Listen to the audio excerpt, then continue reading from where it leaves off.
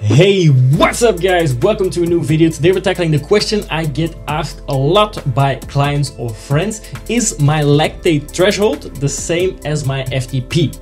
You can measure these for cycling and for running. I think in cycling it's even more common to use these terms. So if you have had the same question, tag along. Let's go! Before we begin, I have just one question to ask and this is if you can smash that like button. I try to add as much value in each video as possible by sharing whatever information I either have looked up or I know from experience and I hold nothing back. So if you appreciate this, then just drop a like on the video and subscribe to the channel. This helps to bring this video out to more people. Okay, first and foremost, your lactate threshold and your FTP are not the same thing.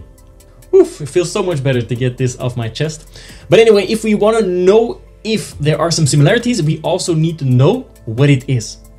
Your lactate threshold is usually determined by a laboratory test where you measure your lactate levels and at some point those lactate levels will start to increase exponentially.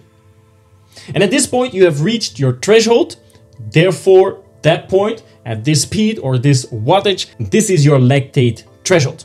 If you plot all your data onto a chart, then at some point you will see the chart or the line go up exponentially. And this is where you know you have reached your lactate threshold. So when you do a test, your lactate threshold is measured, but why is this so important? Your body uses lactate for energy. Hydrogen is produced as a byproduct. Hydrogen actually causes our pH in our blood to decrease, and cause some acidic environment in the muscles or acidosis in the muscles. And this is what we feel when we get that burning sensation in the muscles. And it doesn't take a lot, it takes some small incremental changes to change your pH in your blood and also that acidic environment for those muscles. And this is an important point because when an athlete reaches that point, it's impossible to push any further. So they have to reduce their activity in order to carry on exercising. And this is an important point because if you stay just below the threshold, this is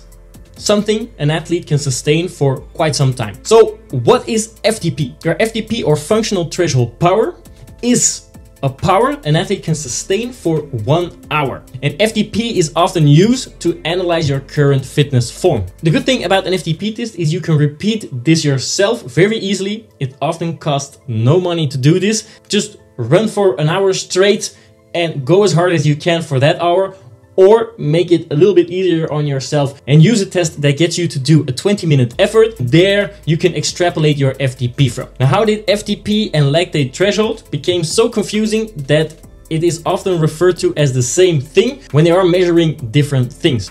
Well, it's often seen that your FTP and your lactate threshold will correlate since doing an activity just below your lactate threshold or doing an FTP test will correlate with the same intensity. However, your FTP is not the same as your lactate threshold and vice versa, your lactate threshold is not the same as your FTP. And you're wondering what is the best thing to measure? Well, it kind of depends. If you have a little bit more money to spend, you can do a lab test where you get your fat threshold and your lactate threshold measured. And you'll also get matching heart rates for these thresholds or power output in wattages. This you can then use to implement in your training program and this will give you a whole set of data to work with. Your FTP basically measures only one thing, the power you can output for one hour. But since this test is very easily repeatable and free, this is often a very, very good way to measure your current fitness level and if you are improving or not. You don't always have to do an expensive lab test just to know if your fitness is improving at all. So there you have it, guys. You know exactly what the difference is between an FTP test and your lactate threshold.